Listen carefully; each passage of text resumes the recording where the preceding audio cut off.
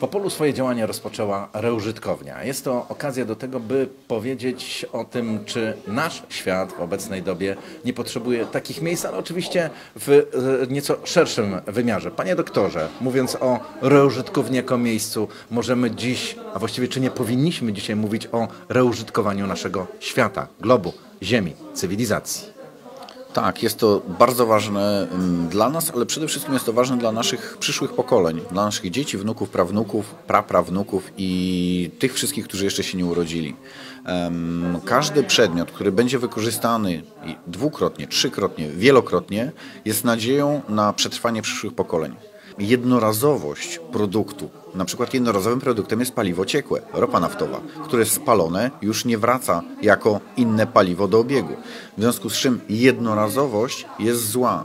Powinniśmy jej unikać, niezależnie od czego, z, z czego ten przedmiot jednorazowy jest wykonany może być wykonany z papieru, plastiku, nawet kamienia. Jeżeli są jednorazowe, jest to złe rozwiązanie.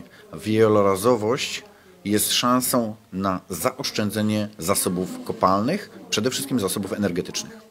No właśnie, bardzo często mówimy o zasobach, o energetyce, o przyszłości, e, o podnoszącej się temperaturze, o ginących e, lodowcach, ale powinniśmy chyba zacząć od tego, że jak jesteśmy w takim miejscu jak to w Opolu, reużytkownia, możemy na tym prymarnym stopniu zacząć robić coś więcej, nim dojdziemy do tego efektu e, globalnego. E, taka inicjatywa jak ta w Opolu, panie e, doktorze, jak ją należy na nią spoglądać, patrzeć, myśleć o tego typu inicjatywach? Tego typu inicjatywa jest niezwykle cenna. Oczywiście, ktoś może powiedzieć, że jest to działanie tylko lokalne, ale jeżeli ta działalność rozszerzy się i będzie ona funkcjonować też w innych miejscach, będzie już to działalność ogólnokrajowa, nawet globalna. Wówczas możemy spodziewać się, że nasz wpływ na środowisko będzie minimalizowany właśnie poprzez nadawanie przedmiotom drugiego życia, a więc nie będzie trzeba wykopać nowych surowców, przetworzyć ich, co oczywiście się wiąże z ogromną emisją CO2 i nie tylko, co oczywiście wpływa na ocieplenie klimatu i później nie będziemy mieli problemu z odpadami, które generujemy. Strumień generowanych odpadów musi być minimalizowany i wszelkie filozofie typu zero waste są jak najbardziej na miejscu, w związku z czym taka reużytkownia, chociaż może ktoś może powiedzieć, jest ona niewielka, działa lokalnie w Opolu, jest bardzo dobrym przykładem do tego, żeby kształtować świadomość człowieka, żeby ta świadomość była przekształcona pod tym kątem, abyśmy cały czas myśleli o tym, że przedmiot może mieć drugie życie i może dzięki temu zaoszczędzimy planecie zmiany klimatu. No tak, ale dzisiaj już myślenie o tym, że będziemy cerować swoje skarpetki odeszło tak naprawdę do lamusa. Kiedyś ten jeden odkurzacz, o którym się mówimy symbolicznie, e, jak się zepsuł najmniejsza część kabelka, to się, tak jak Pan powiedział, reużytkowało go. Dzisiaj, czy jak powinniśmy dotrzeć do nowego pokolenia, do nas również, żebyśmy wrócili do tej, w cudzysłowie, ery? Właściwie jest kilka dróg. Jedną z nich może być droga ekonomiczna. To znaczy nie kupuj, tylko napraw. Zostaną ci środki finansowe, zaoszczędzisz, tak? Nie będziesz musiał wydawać tyle pieniędzy. I to jest jedna z dobrych dróg, która e, uderza nas po kieszeni, tak? Jeżeli nowy sprzęt będzie obarczony takim podatkiem, że jego kupno będzie nieopłacalne, pomyślimy 10 razy więcej o naprawie, ale muszą być punkty, gdzie takie sprzęty możemy naprawić. Nie możemy jakby polegać na sprzętach jednorazowego użytku, a więc punkty usługowe, gdzie możemy coś wypożyczyć, gdzie możemy coś naprawić, będą naprawdę potrzebne i zastąpią część e, tych miejsc pracy, które w tej chwili są w zakładach produkcyjnych. To mieściłoby się w pańskiej filozofii rehumanoidalnej, czyli mówieniu o homo sapiens jako rehomo sapiens?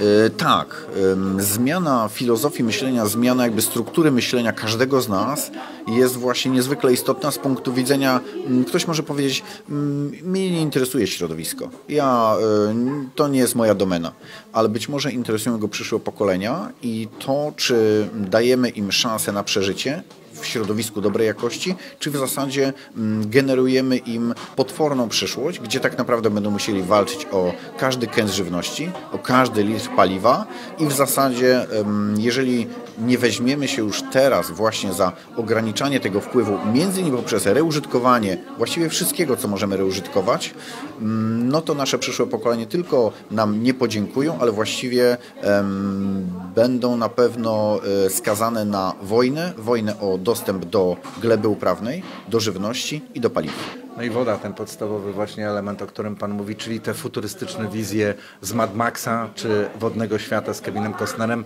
Na nieszczęście dla nas, znowu reżyserzy e, filmowi e, mówią nam o tej no, skażonej dla nas przyszłości.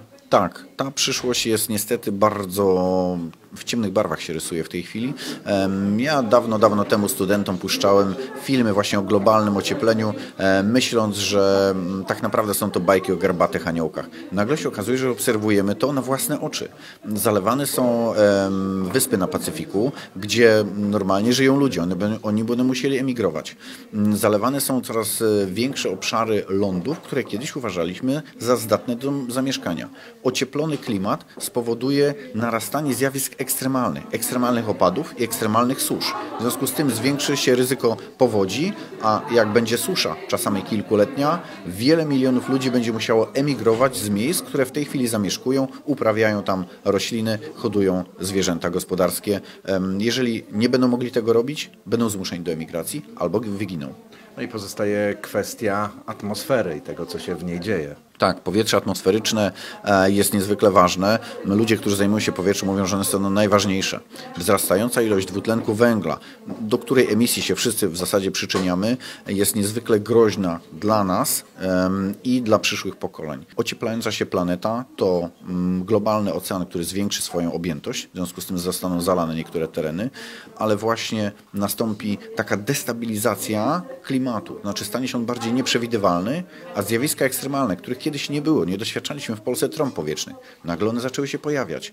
Mm, huraganowe wiatry, ewentualnie susze. Huraganowy wiatr nie tylko wysusza glebę, ale zabiera też tą wierzchnią warstwę materii organicznej, która decyduje o żyzności danego areału.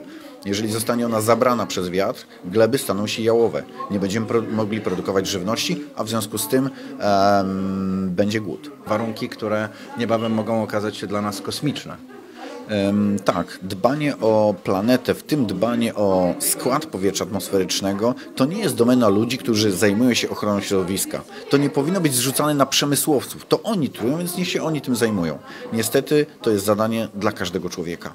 W związku z czym każde nasze działanie, które przyczynia się do zwiększania emisji metanu, dwutlenku węgla, a z którego możemy zrezygnować, na przykład podróże międzykontynentalne samolotami, podróże krajowe samolotami, nadmiar podróży transportem kołowym z silnikami spalinowymi.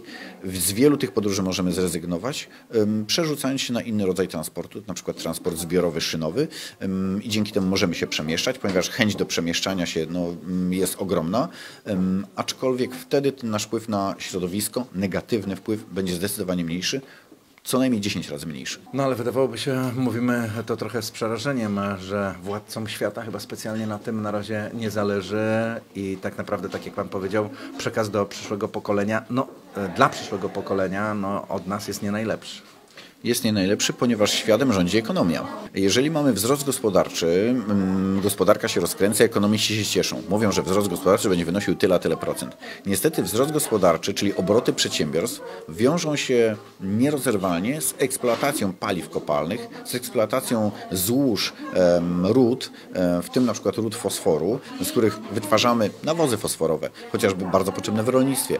Mm, a więc możemy powiedzieć sobie, że wzrost gospodarczy zabija planetę planetę.